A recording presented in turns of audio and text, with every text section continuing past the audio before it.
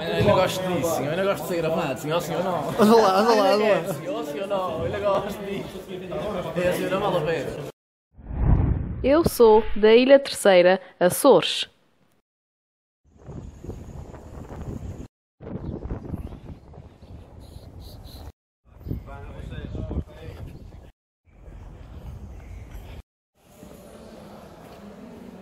Então, assim, o meu nome é Marco Bittencourt, sou, ahm, aliás, faço parte da, da, da- organização do Nerd Alert 2019 by Dot Force, está a acontecer aqui no Museu de Angra.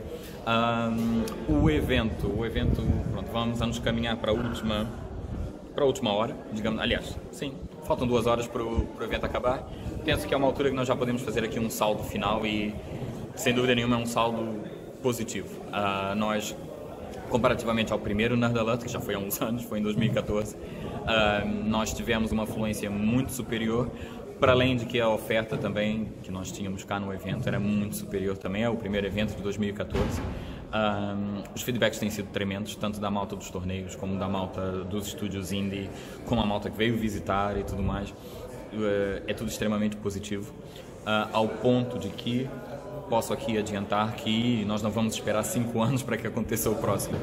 Ah, o Nerd Alert 2020 é cada vez mais ah, ahm, real, digamos assim, e talvez até um Nerd Alert 2019 ainda irá acontecer aqui numa segunda edição. Estamos ainda em conversações, estamos ainda aqui a falar, mas seria aqui uma possibilidade, porque há muitas pessoas a perguntar realmente. eh, os nossos gamers estavam um bocado carentes de eventos desse gênero, eventos que não se centrassem apenas nos torneios, mas que tivesse aqui também outras vertentes, como nós estreamos pela primeira vez nos Açores, aqui um espaço de, de- um espaço de estúdios indie, com estúdios eh, de videojogos nacionais ah, que cá vieram mostrar os seus, os, seus, os, os seus jogos, para além de alguns jogos locais também que cá estão presentes. Para além disso, tivemos também a presença da, tanto da Retrocult, ali a mostrar um bocado as consolas vintage, ah, mas epá, eh, nada disso ser- seria possível sem os nossos parceiros, principalmente a Inforlândia by Dot Force, ah, que é a marca gaming que está aqui a, a- a nos dar um grande empurrão, ah, para além também da Câmara Municipal, do Museu Dangra, para dar o espaço, Startup Dangra, Hyundai ah, e por aí afora. Ou seja, os parceiros são muitos, o que faz com que também o evento tenha sido um sucesso, caso contrário, não seria possível de forma alguma. Ah, agradecemos também a Pit Gadget por ter apoiado também nos prêmios do Magic. Foi um outro torneio também com muito sucesso, ultrapassou todas as expectativas. Ahm, e ah, eu até diria para o ano a mais, mas se calhar não vamos ter que esperar tanto. Se calhar vamos ver ainda. Muitas surpresas vão, vão, vão aparecer. Já agora, o que é que achaste da presença da Xbox Portugal cá? Ah, a presença deles foi muito, foi, foi muito boa, muito boa mesmo, porque, aliás, o primeiro contato foi efetuado por mim no Lisboa Games Week, ah, ah, quando eu estava lá a apresentar o, o, o projeto que eu tenho do, do, do- do nosso estúdio. Ah, e ah, foi muito interessante eu virar para o representante da Xbox que lá estava e apenas questioná-lo: olha, o que, é que achas de ir aos Açores? Mais especificamente a Ilha Terceira, mostrar aqui as novidades e ter uma presença mesmo forte da marca Xbox.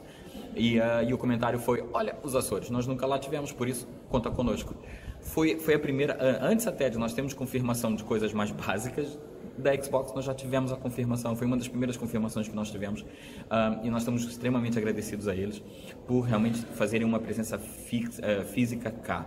No entanto, há que também agradecer a presença aliás, a disponibilidade da PlayStation de nos enviar equipamentos, como por exemplo o VR, que foi um sucesso tremendo, foi enviado pela, pela própria PlayStation Portugal, ou seja, há aqui também ah, ah, uma, uma crença, tanto pela Xbox como da PlayStation, de que os gamers terceirenses existem e também merecem aqui uma atenção. E pode ser que no próximo evento a presença seja ainda maior, pelo menos vamos, vamos trabalhar para isso, para ir aumentando aos poucos. E fiquem atentos à nossa página de Facebook, ah, o Nerd Alert Oficial. E hum, tudo que for acontecendo nós vamos colocando lá.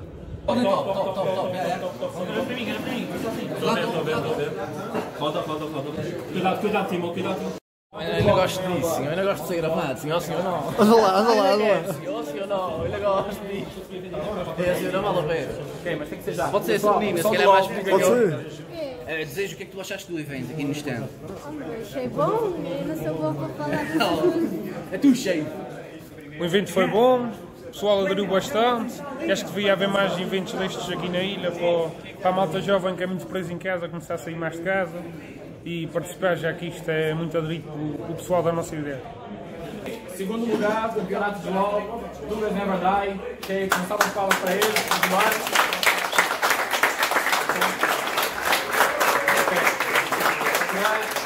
Para entregar o prêmio aqui do segundo lugar pelo Dr. Jorge Bruno, diretor do museu. Vai passar a entrega do voucher para a Infolândia. Ok, obrigadão, pessoal.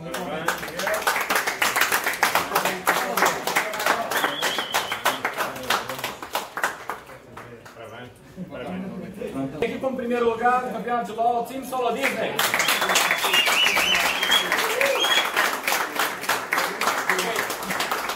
Para entregar o prêmio em representação do parceiro oficial do Nerd Alert, by Dot Force em Forlândia, a Flávia. Entregar o prêmio. Tá bom?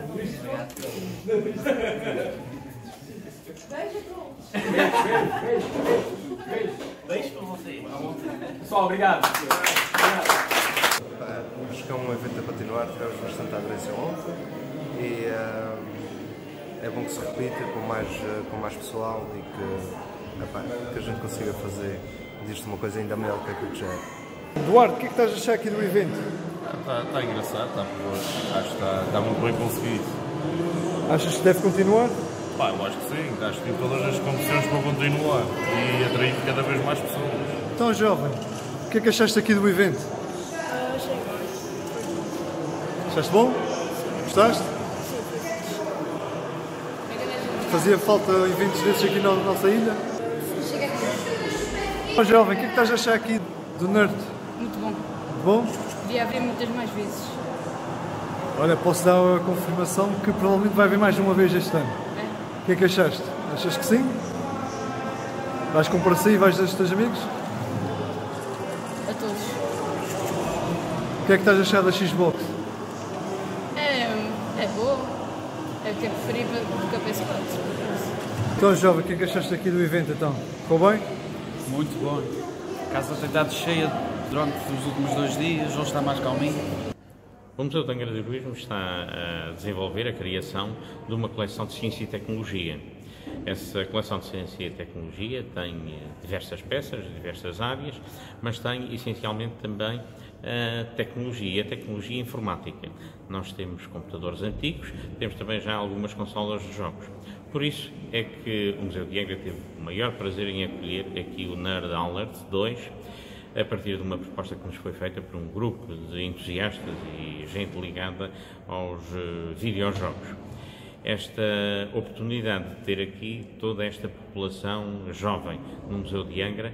É importantíssimo e corresponde àquilo que é a missão de um museu, como o Museu de Angra do Heroísmo, que é estar aberto ao público, a todas as faixas etárias, não só ser um museu onde se pode revisitar o passado, mas também se pode problematizar e experimentar o presente. E é isto que acontece com estes jovens que ao longo de três dias estiveram aqui a desenvolver estes campeonatos de videojogos. Portanto, faz todo o sentido, na perspectiva do Museu de Angra, acolher eventos desta natureza, todos eles, naturalmente, sempre relacionados com as atividades intrínsecas do museu, neste caso concreto, como disse, com a coleção de ciência e tecnologia, mas também por ocasião do encerramento de uma exposição foi uma exposição que esteve patente ao público durante quatro meses aqui no museu, Sítios Altos Fortes, que é uma exposição que representa a evolução da tecnologia informática, a que os jogos não são alheios. Portanto, fez todo o sentido e foi com muito gosto que acolhemos aqui esta iniciativa designada por Nerd Alert 2.